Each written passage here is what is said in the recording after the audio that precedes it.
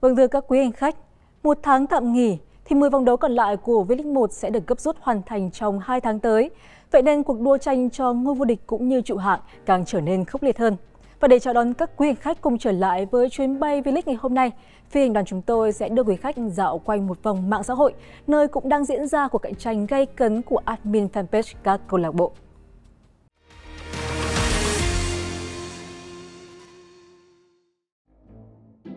Sau quãng thời gian tương đối dài nhường chỗ cho vòng chung kết U23 châu Á 2024, giải vô địch quốc gia V-League 1 đã trở lại với nhiều điều mới mẻ trên khắp không gian mạng, đặc biệt là từ vị trí admin fanpage của các câu lạc bộ. Hồng Lĩnh Hà Tĩnh chào đón Quảng Nam bằng cái nóng lên tới 44 độ ở núi Hồng, nơi huấn luyện viên Nguyễn Thành Công quyết đòi món nợ cũ sau khi để thua ván cờ chúc huấn luyện viên Văn Sĩ Sơn ở lượt đi đội chủ nhà kỳ vọng Quảng Nam sẽ là lọ thần dược để giúp họ hưng phấn hơn trong chặng đường còn lại. Cơ mà thực tế thì cho thấy, ông Văn Sĩ Sơn cũng chuẩn bị sẵn độc chiêu để khiến đội chủ nhà trao đảo. Chiều thức ném biên của Indonesia bỗng được Mạch Ngọc Hà thực hiện một cách quá thuần thục, góp công vào chiến thắng 2-1 của đội bóng đất Quảng. Thưa quý vị và các bạn, cuối tuần này, lượt về giải bóng đá vô địch quốc gia V-League 2023-2024 sẽ sôi động trở lại trên khắp các sân cỏ cả nước với các trận đấu tại vòng 16. Trên sân vận động Vinh diễn ra cặp đấu rất được người hâm mộ bóng đá xứ Nghệ chờ đợi giữa câu lạc bộ Sông Lam Nghệ An và câu lạc bộ Hà Nội. Trận đấu sẽ diễn ra vào lúc 17 giờ thứ bảy ngày 4 tháng 5. Xin trân trọng kính báo và kính mời toàn thể quý vị và các bạn cùng đến xem và cổ vũ, tiếp thêm sức mạnh cho đội chủ nhà Sông Lam Nghệ An. Sông Lam Nghệ An, Hà Nội, sân Vinh, 17 giờ thứ bảy ngày 4 tháng 5.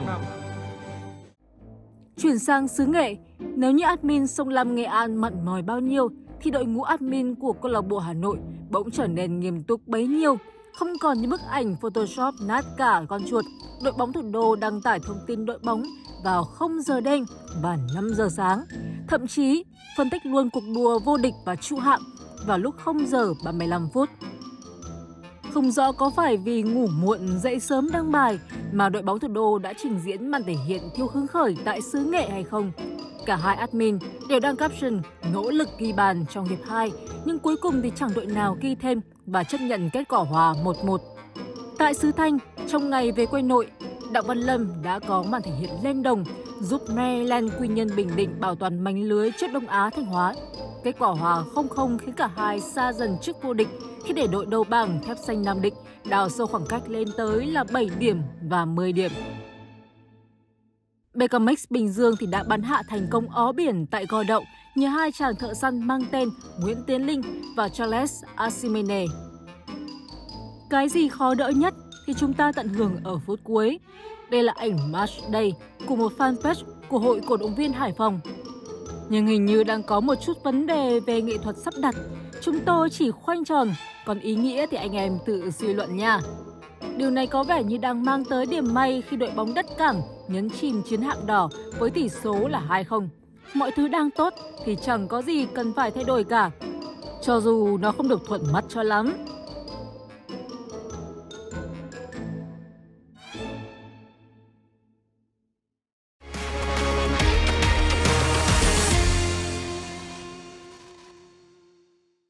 Xin chào quý vị, chào mừng quý vị trở lại với chuyến bay V-League trên FPT Play. Như vậy là sau quãng nghỉ gần một tháng để nhường chỗ cho vòng chung kết U23 châu Á 2024 thì giải vô địch quốc gia V-League 1 2023-2024 đã chính thức quay trở lại với các trận đấu thuộc vòng 16 và đó cũng chính là lý do tại vì sao mà hôm nay chuyến bay của chúng tôi đã bắt đầu bằng cuộc gặp gỡ với tiếp viên trưởng Hoàng Hà À, bởi vì có rất nhiều vùng nhiễu động, rất nhiều điểm đỏ. Hai vị khách mời của chúng ta vẫn là hai bình luận viên rất quen thuộc. Xin được giới thiệu bình luận viên Quang Long và bình luận viên Hoàng Long. Vâng, xin chào Phương Anh, xin chào anh Quang Long cũng xin chào khán giả FPT Play. Vâng ạ, chúng ta vừa đi qua rất là nhiều những điểm đỏ trải dài khắp các sân vận động của V-League qua vòng đấu thứ 16 vừa qua đúng không ạ? Vậy thì anh Quang Long ạ, anh ấn tượng với cái hình ảnh nào nhất trong vùng nhiễu động vừa rồi ạ? Thật ra tôi ấn tượng hết nhưng mà ấn tượng nhất là Quảng Nam. Có lẽ là họ đã nhìn uh, Indonesia U23 hay uh, ném cũng quả ném biên. Và trong thời gian vừa qua cũng có nhiều trận đấu mà Mạnh Ngọc Hà cũng ném biên. Mặc dù nó không bằng uh, quả ném biên của hậu vệ trái đúng rồi không bằng vệ trái nhưng mà vừa rồi là tình huống mà chúng ta thấy nó thực dụng của Indonesia và Quảng Nam đã áp dụng được. Và chúng ta có thể thấy đây đây là một bài mà ném biên mà chúng ta thấy trước Stoke City có Delat Delat, đúng không ạ? Đó, tức là giúp cho họ có nhiều bàn thắng. Đây là những phương án mà có lẽ là các cầu thủ đối thủ của Quảng Nam thì họ đã không không chống được bóng bổng Vâng. và trong tình huống này. Đó, có lẽ đó là những cái hình ảnh mà tôi ấn tượng nhất ờ, trong cái vùng nhiễu động vừa rồi. Và chắc chắn là cái tình huống này thì câu lạc bộ Quảng Nam cũng đã có những cái sự luyện tập rất là kỹ ở trên uh, Facebook cá nhân của Mạnh Ngọc Hà thì cũng có chia sẻ lại cái tình huống này và còn nói là tập luyện bóng ném. Nghĩa là một cái sự chuẩn bị rất là kỹ lưỡng. Vậy còn uh, anh Hoàng Long thì sao ạ? Anh ấn tượng với cái bài đăng của câu lạc bộ nào nhất ạ nói chung là đấy những cái đội bóng chúng ta cũng hiểu là tôi đào thêm một chút vào cái chi tiết Quảng Nam Anh Long nói thì chúng ta cũng thấy rồi Đình Bắc đúng không ạ? Lên Đúng rồi. tuyển các LU cũng có những cái quản ném biên mạnh như vậy. Đây là cái bài chuẩn bị khá là kỹ càng đến từ đoàn quân huấn luyện viên Phan Sĩ Sơn bởi chúng ta hiểu rằng họ luôn là một đội bóng yếu hơn so với các đối thủ vì một tân binh mà đúng không ạ? Họ sẽ luôn cố gắng làm sao để chi tiết hóa để trau chuốt những cái tình huống cố định và à, thành quả đã đến trong một cái trận đấu mà tôi nghĩ rằng là tất nhiên về Hồng Lĩnh Hà Tĩnh họ cũng hơi kém may mắn một chút. Còn trong cái loạt hình ảnh vừa rồi thì à, em lại ấn tượng với cái hình ảnh của media câu lạc bộ Hà Nội.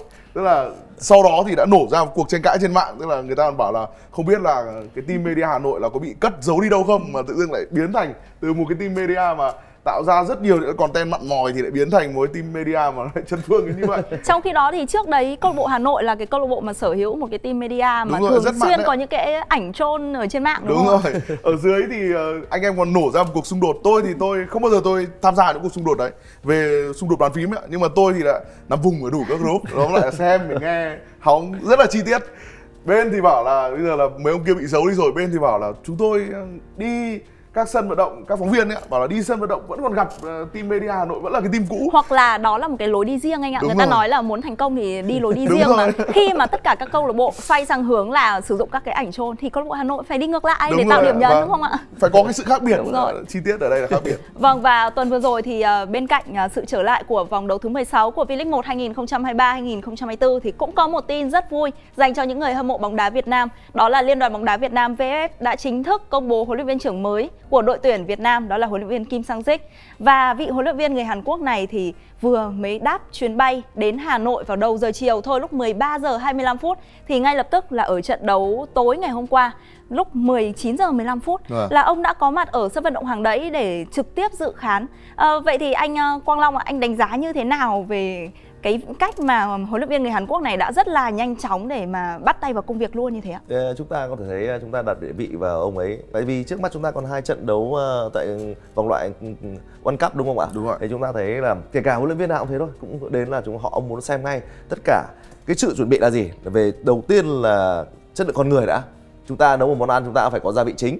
Vâng. Thì chúng ta thấy là chất lượng con người và ông đã đến xem trận đấu với thể công Viettel và Ờ, uh, Agribank Hoàng Gia Lai để xem ờ, những con người như thế nào để ông đưa ra một cái đội hình tốt nhất. Tôi nghĩ đó là cái chuyên nghiệp. Tất cả các huấn luyện viên nào cũng vậy. Mà kể cả bản thân tôi nếu như là huấn luyện viên tôi cũng vậy, tôi cũng phải đi xem hết để sao được có một cái đội hình tốt nhất, để cái bộ khung tốt nhất và đưa ra những lựa chọn tốt nhất và sự lựa chọn chắc chắn là ông sẽ được ờ, các truyền thông Việt Nam hay là Liên đoàn bóng đá Việt Nam đưa cho những cái danh sách những cầu thủ để xem nhưng mà tôi nghĩ ông sẽ còn chọn những cầu thủ mới để sao nó phù Vâng. hợp với triết lý của ông ấy nữa chứ đúng không À, đó là cách làm chuyên nghiệp mà tôi nghĩ ở trong trận đấu vừa rồi mặc dù nó diễn ra cũng khá là cũng không hấp dẫn thật sự nhưng mà có cái gì đấy ông sẽ nhìn thấy Hoàng Đức này Đức Chiến này ông sẽ nhìn ra những cầu thủ trẻ El Banh và Gia Lai thi đấu như thế nào tôi nghĩ đó là cách chuyên nghiệp mà huấn luyện viên Hàn Quốc họ đang cập dập và đang làm sao để là có cái đội hình tốt nhất và có bộ khung tốt nhất cho đội tuyển Việt Nam? Có một cái chi tiết rất hay như này nhá.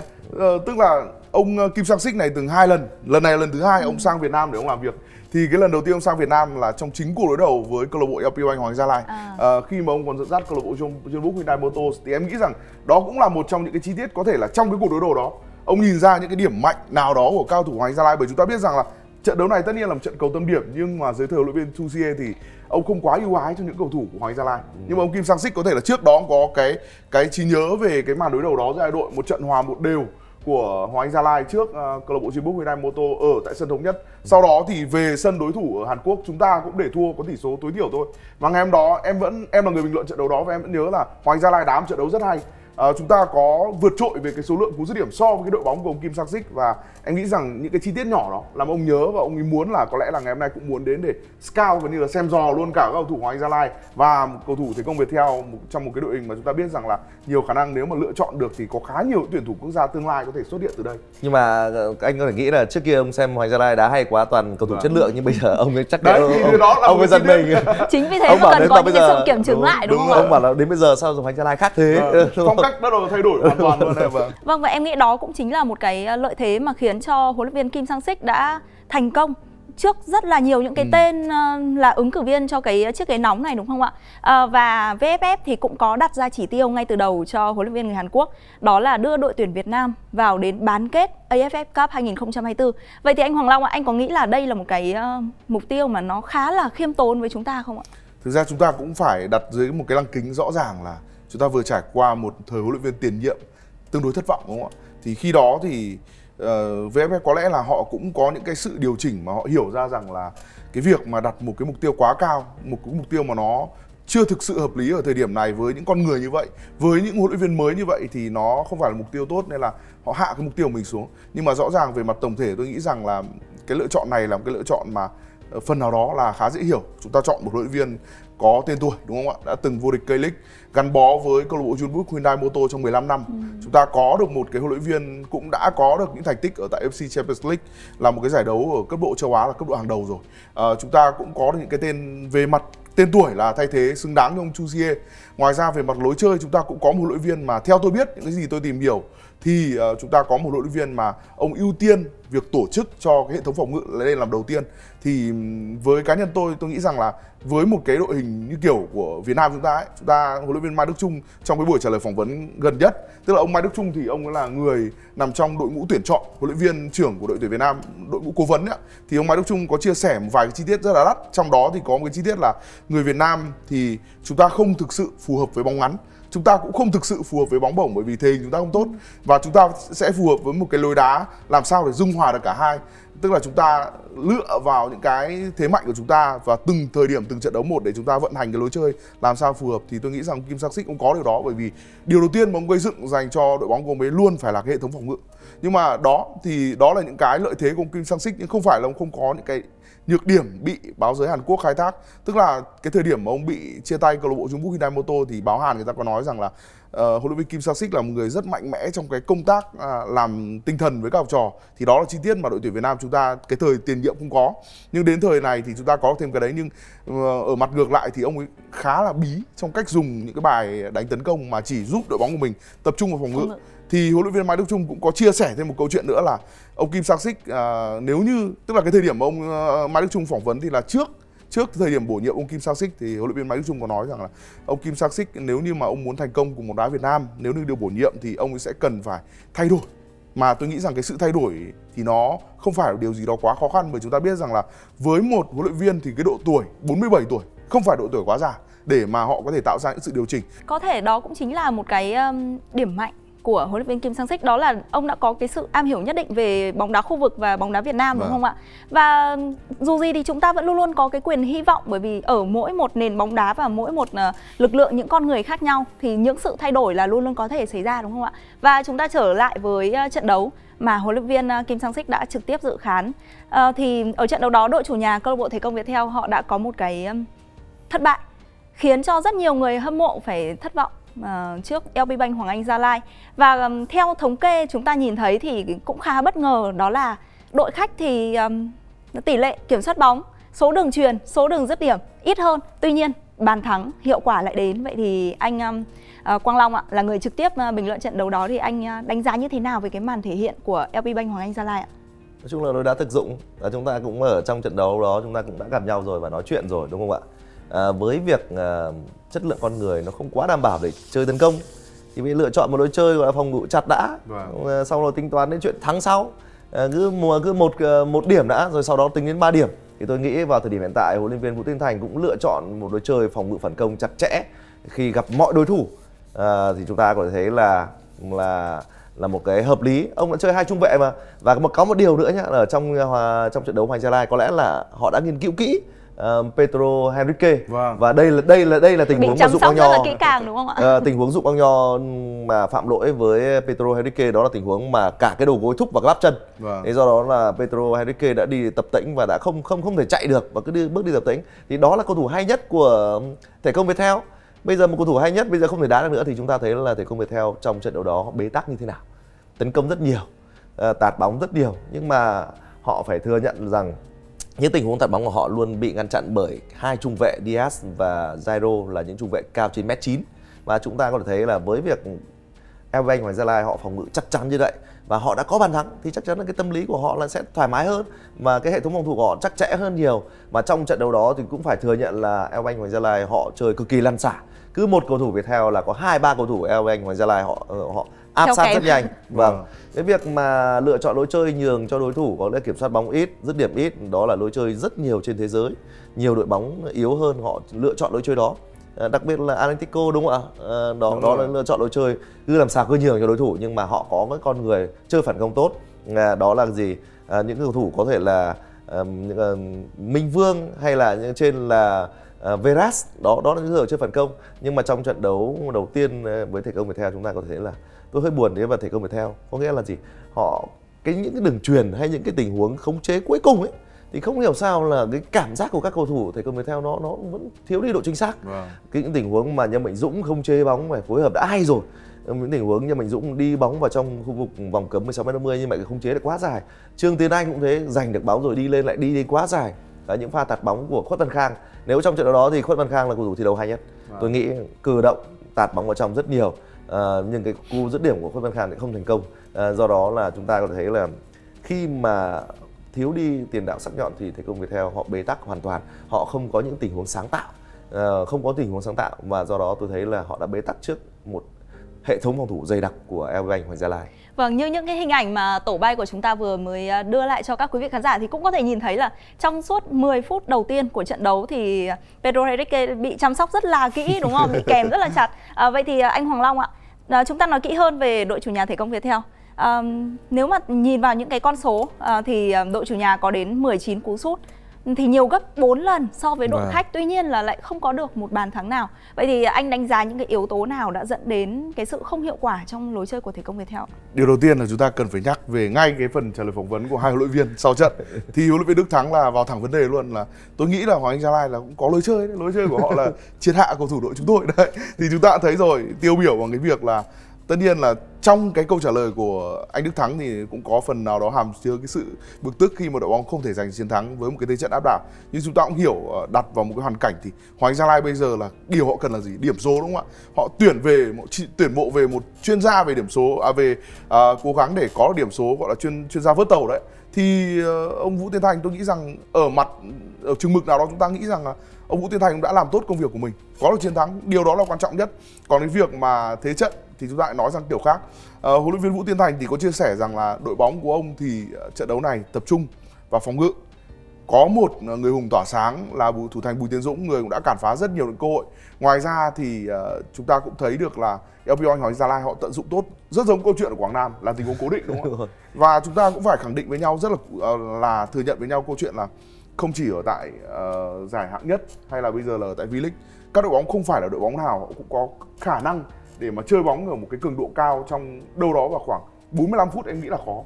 Đâu đó chắc là nếu mà gọi là để đá được uh, cường độ cao đá một cách uh, liền mạch thì chắc đâu đó là một vài đội bóng ở V-League bây giờ hoặc là thậm chí các đội bóng hạng dưới thì chỉ chơi được vào từ khoảng 25 đến 30 phút thôi. À, nên là chúng ta thấy được là cái việc lựa chọn lối chơi cũng là một cái lựa chọn rất là thiết thực để giúp cho LPL Hoàng Gia Lai họ có được những cái lợi thế đó. Còn ở cái chiều ngược lại thực ra chúng ta vẫn biết rằng là ừ huấn luyện viên Đức Thắng chia sẻ cũng đúng. Bởi vì là trong 10 phút đầu tiên thì Pedro bị phạm lỗi tới 3 lần.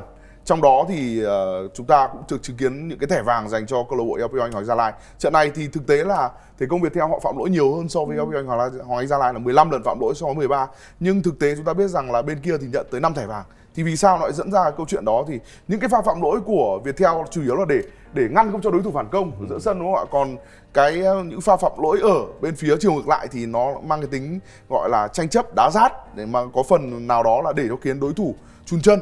Thì chúng ta cảm nhận rõ được cái ý đồ đến từ hai huấn luyện viên là khác nhau. Nhưng có một cái thứ nữa mà tôi nghĩ rằng là thể công Viettel chắc là phải tự trách mình. Đó là khả năng dứt điểm đúng không ạ? Chúng ta nhắc về những cái tình huống uh, thể công Viettel họ khai thác được không gian ở hành lang biên khuất văn khang đá tốt theo cái chia sẻ của anh long. Và cứ đến cái tình huống cuối cùng thì lại điểm không thì lại thể thành công đúng không? Nên tôi nghĩ rằng thực ra này nếu mà đào lại về lịch sử một chút thực ra vài năm gần đây thì thể công Viettel chưa bao giờ là một bóng mà họ có được cái khả năng dứt điểm tốt cũng như là có khả năng chúng ta gọi nôm na ví von là khoan bê tông tốt. Trước những cái đối thủ mà phòng ngự thấp thì thể công Viettel thường là họ đá cũng hay.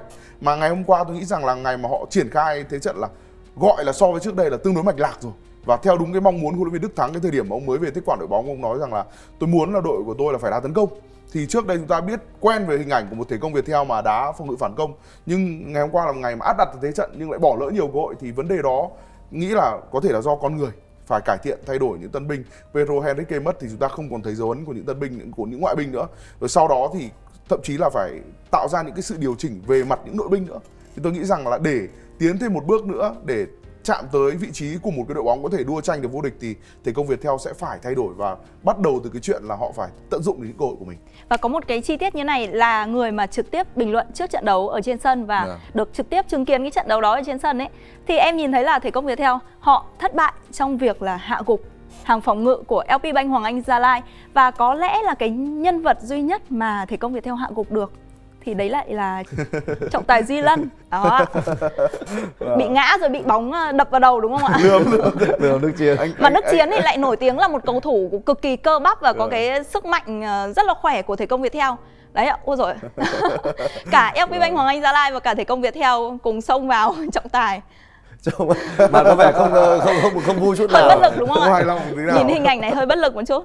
Vâng và đây là ờ, một trong số những cái tình huống hiếm hoi mà chúng ta nhìn thấy là các cầu thủ của thể công Viettel có thể hạ gục được một cái uh, nhân vật ở trên sân. Và trở lại một chút với trận đấu này thì cái sự hiệu quả của câu lạc bộ LP Bank Hoàng Anh Gia Lai có lẽ phần lớn sẽ đến từ hàng phòng ngự và đặc biệt là hai ngoại binh đúng không ạ? À, vậy thì bây giờ chúng ta hãy cùng thắt chặt dây an toàn và gặp lại tiếp viên trưởng Hoàng Hà để cùng xem là số liệu trong buồng lái ngày hôm nay của chúng ta là số liệu bao nhiêu. Vâng, đúng như cơ trưởng Phương Anh vừa nhắc đến, điều mà chúng ta dễ nhận thấy nhất trong trận đấu trên sân hàng đẫy hôm qua là sự xuất sắc của hàng thủ LP Bank Hoàng Anh Gia Lai đã giúp đội khách có được 3 điểm trong chuyến hành quân tới thủ đô. Và phi hành đoàn chúng tôi quyết định lựa chọn cả hai con số là số 33 và số 22 để đưa vào số liệu trong buồng lái ngày hôm nay để cùng phân tích về sự xuất sắc của hàng phòng ngự huấn luyện viên Vũ Tiến Thành.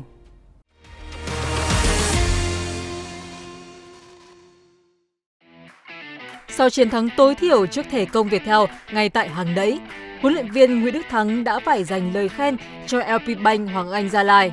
Với lối đá triệt tiêu đối thủ, ông Vũ Tiến Thành cùng đội bóng phố núi đã có một trận đấu phòng ngự hay trước đội bóng quân đội, với dấu ấn là sự chắc chắn của bộ đôi trung vệ ngoại trong cả khả năng phòng ngự lẫn tấn công. Trong tình huống ghi bàn của LP Bank Hoàng Anh Gia Lai, hai trung vệ ngoại của đội khách đều có những đóng góp cụ thể một người làm chim mồi thực hiện tình huống hút người. Còn Pereira là người tiếp cận khung thành khi không bị theo kèm. Sau đó là bàn thắng tới đối với LP Bank Hoàng Anh Gia Lai. Ở trong mặt trận phòng ngự, hai cầu thủ này luôn chê rõ vai trò. Một cầu thủ đóng vai trò đánh chặn, một cầu thủ ở phía bên trong sẵn sàng bọc lót cho đồng đội. Bằng thể hình to lớn, Pereira luôn sẵn sàng đưa hai tay ra phía sau để dùng thân mình chắn các cú sút xa nếu xảy ra. Còn với Gyro luôn là những pha băng lên để gây áp lực, ngăn cản cầu thủ tấn công của thể công Viettel xâm nhập sâu trước vòng cấm.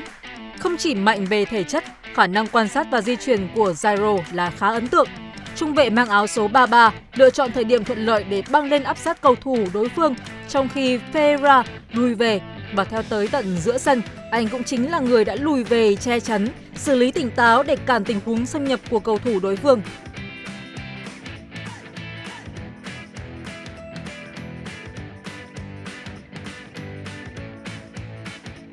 Lối chơi của LV Bank Hoàng Anh Gia Lai vào thời điểm này đã không còn hoa mỹ như những gì chúng ta tưởng tượng ở trong quá khứ.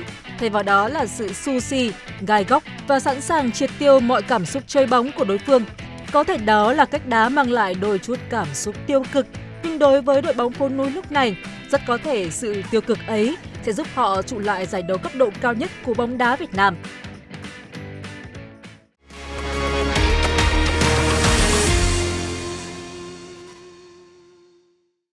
Vâng, rất cảm ơn tiếp viên trưởng Hoàng Hà đã đưa đến cho chúng tôi số liệu trong buồng lái ngày hôm nay về hai ngoại binh thi đấu đã rất xuất sắc của LP Bank Hoàng Anh Gia Lai.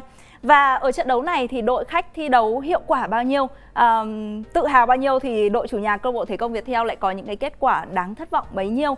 À, tuy nhiên là cũng có những um, tình huống mà khiến cho rất nhiều người hâm mộ của đội bóng áo lính phải cảm thấy tiếc nuối đúng không ạ? Và đặc biệt là pha bóng của Nhâm Mạnh Dũng suýt vâng. thành bàn thắng và bên cạnh đó còn rất nhiều những tình huống khác nữa của đội chủ nhà.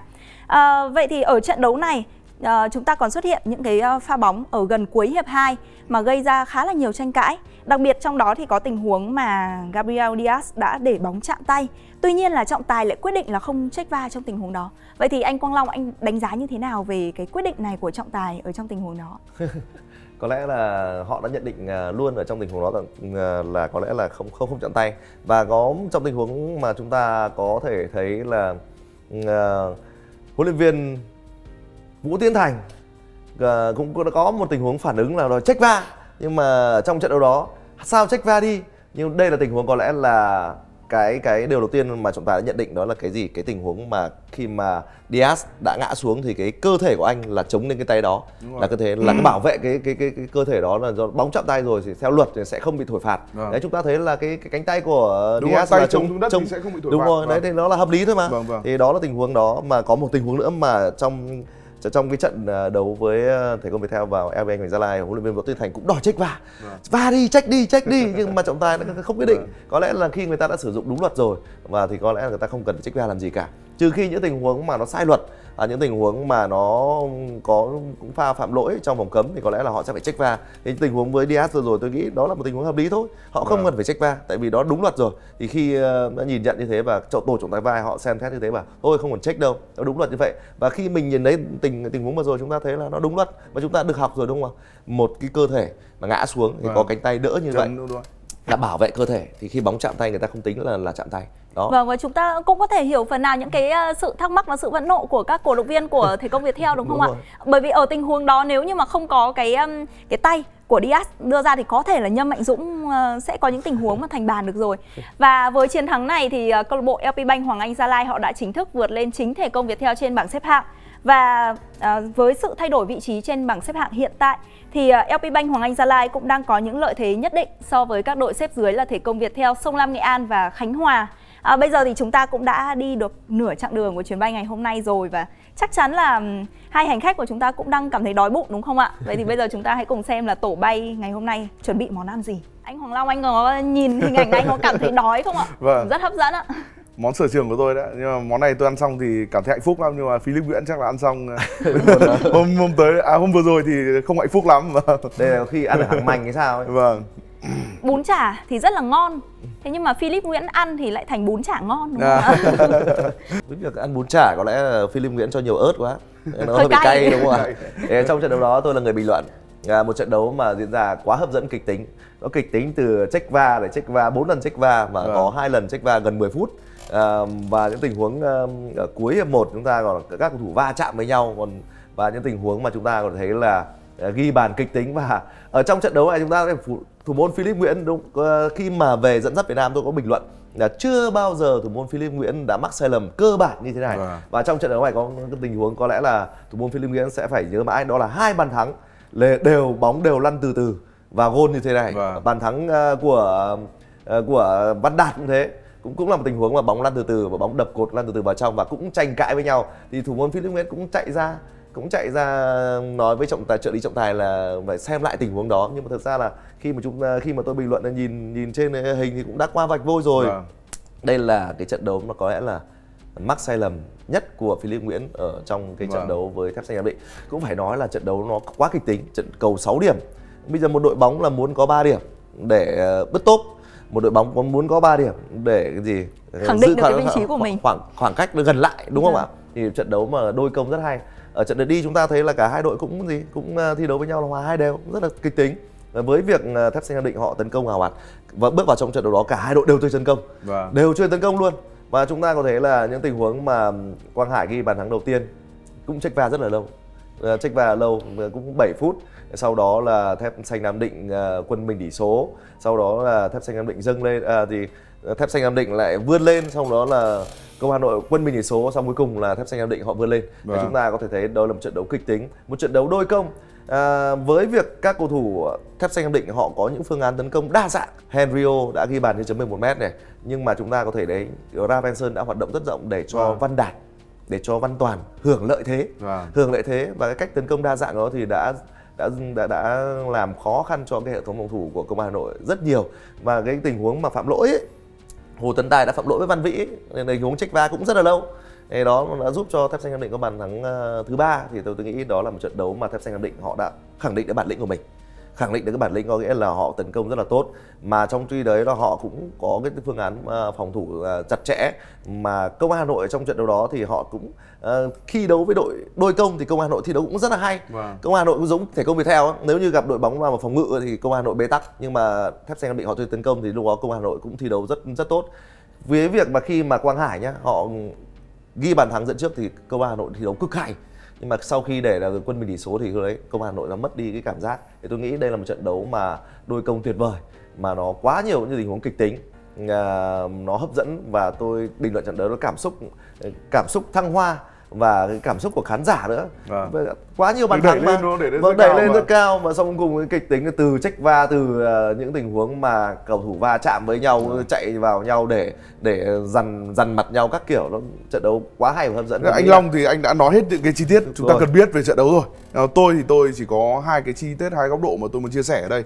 Điều đầu tiên là chúng ta thấy rõ là một cái đội bóng mà mong muốn vô địch thì họ cần phải có được điều đó thì thép xanh nam định có được cái việc là họ khẳng định được cái đẳng cấp của mình đúng không ạ? Cái việc ờ, họ khẳng định được đẳng cấp ở đây ngoài cái chuyện điểm số ra thì nó còn là câu chuyện là không phải ngày hôm nào chúng ta cũng đá tốt. Nhưng mà nếu như chúng ta đá không tốt hoặc là chúng ta dùng bất kỳ một cái phương pháp nào đó để chúng ta có được 3 điểm thì đó là cái điều quan trọng nhất. Thì tôi nghĩ rằng thép xanh nam định đã làm được cái chuyện đó. Ngày hôm qua trước một công an hà nội mà cái sự phản kháng của họ là tương đối ấn tượng. À, ngoài ra có một cái chi tiết nữa tôi muốn nhắc tới đó là thủ thành Philip Nguyễn. Tất nhiên nhiều người ngày hôm qua đặc biệt là với các cổ động viên công an hà nội họ cảm thấy là nếu như trong một ngày khác thì Philip Nguyễn có thể là xử lý tốt hơn. Đúng. nhưng mà chúng ta không thể biết được trong một cuộc sống ngay cả chúng ta cũng vậy thôi. Những người bình thường như chúng ta chúng ta đi làm có những ngày chúng ta quên công việc này quên công việc kia là việc bình thường. À, một thủ môn cũng vậy và chúng ta nhìn rộng ra trên cái bản đồ bóng đá thế giới. Những cái thủ thành hàng đầu như là Ederson Manuel Neuer rồi thì Alisson Becker còn có những cái tình huống mà thậm chí ra còn phá hụt bóng cơ mà. Chuyện đó rất là bình thường với những thủ môn và tôi vẫn tin vào cái đẳng cấp của Philip Nguyễn. Tôi nghĩ rằng là đó chỉ là một cái đâu đó chỉ là cái điểm rơi phong độ nó diễn ra không đúng ngày thôi và tôi nghĩ rằng một ngày khác thì Philip Nguyễn sẽ lại tỏa sáng và tôi vẫn luôn tin là Philip Nguyễn có thể trở lại được nên là tôi nghĩ rằng đây là một cái trận đấu chỉ là hơi kém may dành cho thủ môn này thôi Và ừ, thực tế rõ ràng là cái khả năng của Philip Nguyễn thì chúng ta đã được chứng minh qua rất là nhiều trận đấu rồi đúng không ạ? Vâng. Và rất là nhiều những tình huống mà có lẽ là ít thủ thành có Vâng. thể cản phá được thì Philip Nguyễn lại cản phá rất là dễ dàng. Tuy nhiên là ngày ờ, hôm qua thì có lẽ là một cái trận đấu mà gọi là hơi dốc một chút Vâng. với Philip Nguyễn khi mà có đến hai sai lầm cá nhân và dẫn đến cái thất bại của câu lạc bộ Công an Hà Nội. Và em nghĩ là trận đấu um, giữa câu lạc bộ Công an Hà Nội và Thép Xanh Nam Định bên ngoài những cái yếu tố chuyên môn thì một điểm rất quan trọng nữa để tạo nên cái sự hấp dẫn của trận đấu này đấy là khán giả. Và chúng ta nhìn thấy là hôm đó thì ở sân vận động hàng đấy các cổ động viên của Thép Xanh Nam Định rất là đông. Vâng. và với cái châm ngôn của họ là nơi đâu cũng là thiên trường đấy ạ. Và hôm đấy là kín hết khán đài. À, khiến cho hôm đấy anh um, Quang Long và anh Xuân Tín đúng không ạ? Bình luận cũng uh, chắc là cũng phải khản cổ khá khá và rất là tốn sức cho trận đấu đấy đúng không ạ? Vâng và đó là sự xuất sắc của câu lạc bộ Thép Xanh Nam Định khi mà họ đã có thể lội ngược dòng để mang về chiến thắng trước đối thủ trực tiếp đang cạnh tranh vị trí đầu bảng với mình đó là câu lạc bộ Công an Hà Nội. Và ngay bây giờ thì xin mời tất cả các hành khách của chuyến bay V-League cùng với hai bình luận viên, chúng ta hãy thắt thật chặt dây an toàn và bật chế độ Piero. Hãy cùng gặp lại tiếp viên trưởng Hoàng Hà để nhìn lại màn trình diễn rất xuất sắc của câu lạc bộ Thép Xanh Nam Định. Vâng, chắc chắn rồi, chúng ta sẽ không thể không nhắc đến trận cầu 6 điểm giữa Công an Hà Nội và Thép Xanh Nam Định. Trong ngày va được hoạt động hết công suất, thì đội dẫn đầu bảng xếp hạng đã giành được chiến tăng hết sức thuận lợi và có lợi thế lớn trong cuộc đua vô địch. Và xin mời các quý hành khách hãy cùng thắt chặt dây an toàn, dựng thẳng lưng ghế và bật chế độ Pyro để xem Thép Xanh Nam Định đã tận dụng tốt những cơ hội đến từ sai lầm của đối thủ như thế nào.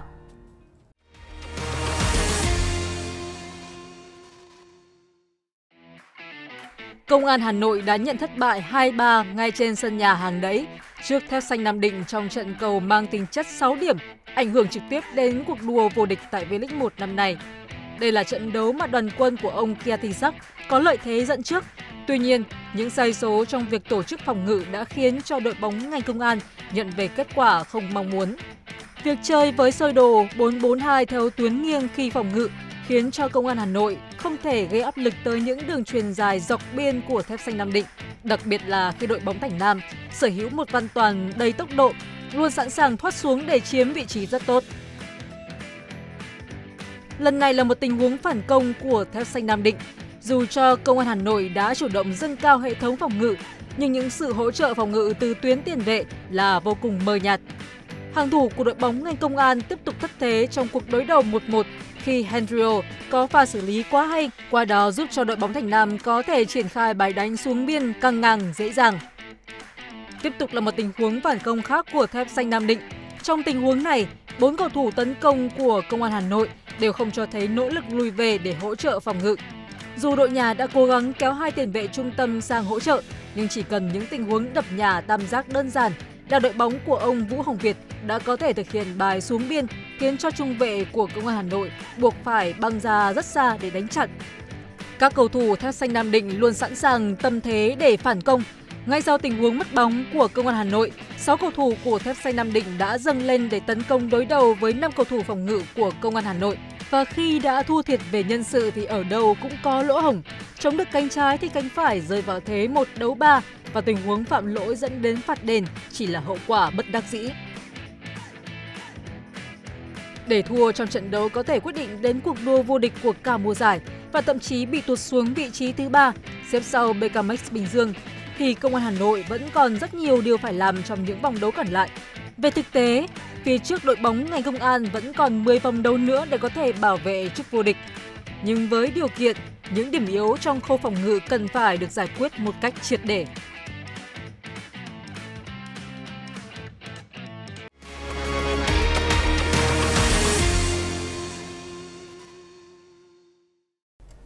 Vâng và đó là màn trình diễn rất thuyết phục đến từ câu lạc bộ Thép Xanh Nam Định và ở trận đấu này thì chúng ta cũng có thể một lần nữa nhìn thấy cái sự khẳng định là câu lạc bộ Thép Xanh Nam Định họ đang sở hữu trong mình một cái um, lực lượng ngoại binh đúng mà rồi. chất lượng nhất vâng. của V-League hiện nay đúng không ạ? Khi mà chúng ta nhìn thấy là những ngoại binh của công an Hà Nội như Jefferson, Giovane hay là Fianho thì không thể vượt qua được bộ ba của Thép Xanh Nam Định đúng không ạ? Vậy thì anh Hoàng Long ạ, anh đánh giá như thế nào về những ngoại binh này của câu lạc bộ um, công an Hà Nội?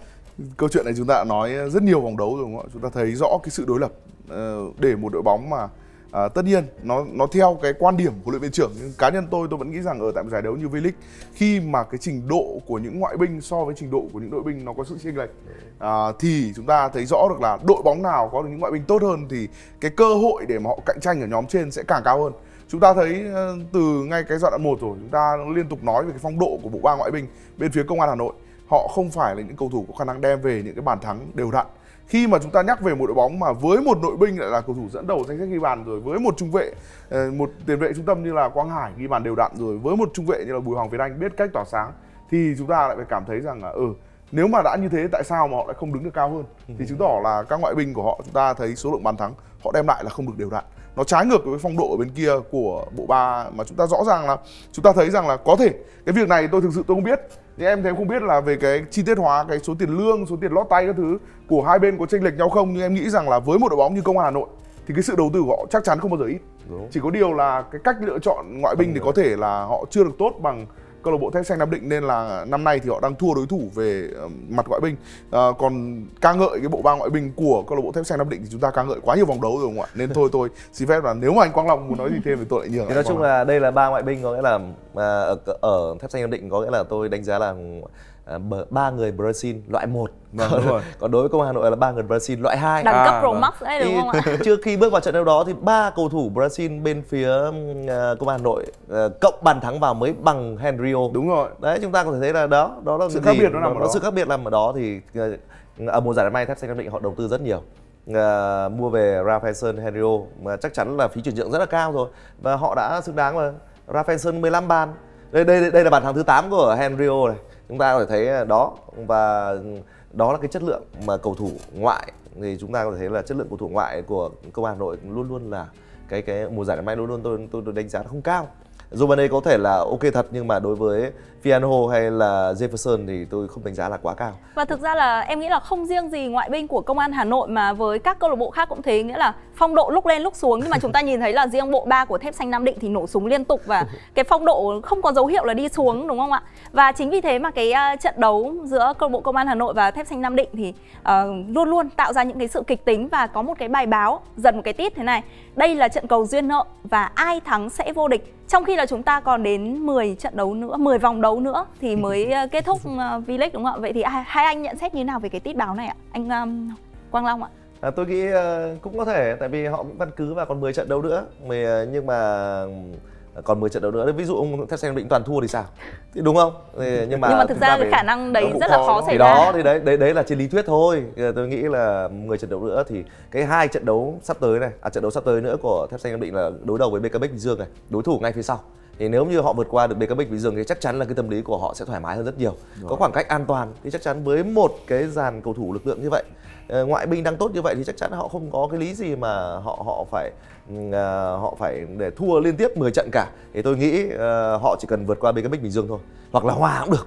Hòa BKB Bình Dương thôi là tôi nghĩ là họ có cái cơ hội để giành chức vô địch ở mùa giải năm nay. Tại vì chúng ta phải nhìn sâu xa đó là chất lượng đầu tư rất là nhiều ở mùa giải năm nay. Chất lượng đội hình toàn tuyển thủ quốc gia những cầu thủ chất lượng và bên ngoại binh chất lượng nữa, tôi nghĩ là à, đó cũng là một lý do mà báo có thể khẳng định cho là thép xanh nam định nếu vượt qua đối thủ thì sẽ vô địch ở mùa giải năm nay. Vâng và có lẽ là hành trình của chúng ta ngày hôm nay chỉ trong một chuyến bay thôi thì rất khó có thể nói được hết đầy đủ tất cả những cái kịch tính và những cái điểm nóng ở vòng đấu vừa qua đúng không ạ? À, bây giờ thì à, em cũng muốn cập nhật một chút à, những cái kết quả của các trận đấu ở vòng đấu thứ 16 cho các hành khách của chuyến bay V-League.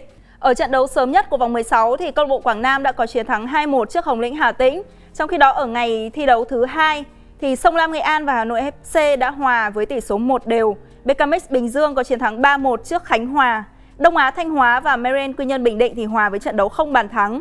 Câu lạc bộ Công an Hà Nội thì nhận thất bại rất đáng tiếc với tỷ số 2-3 trước Thép Xanh Nam Định. Câu lạc bộ Hải Phòng có chiến thắng 2-0 trước câu lạc bộ Thành phố Hồ Chí Minh và ở trận đấu muộn nhất diễn ra vào tối ngày hôm qua, thì câu lạc bộ Thể công Việt Theo đã có thất bại 0-1 trước đối thủ là câu lạc bộ LP Bank Hoàng Anh Gia Lai. Và các trận đấu tiếp theo của chúng ta ở vòng đấu thứ 17 thì cũng sẽ diễn ra sau đây 3 ngày thôi và chắc chắn rồi chúng ta sẽ còn gặp lại nhau đúng không ạ? À, một lần nữa thì rất là cảm ơn hai hành khách ngày hôm nay, hai bình luận viên Quang Long và bình luận viên Hoàng Long à, đã cùng với các hành khách của chuyến bay V-League và chúng ta có những cái nhìn sâu hơn, thú vị hơn về các trận đấu của vòng đấu thứ 16. Còn bây giờ xin chào và hẹn gặp lại các hành khách ở các chuyến bay tiếp theo.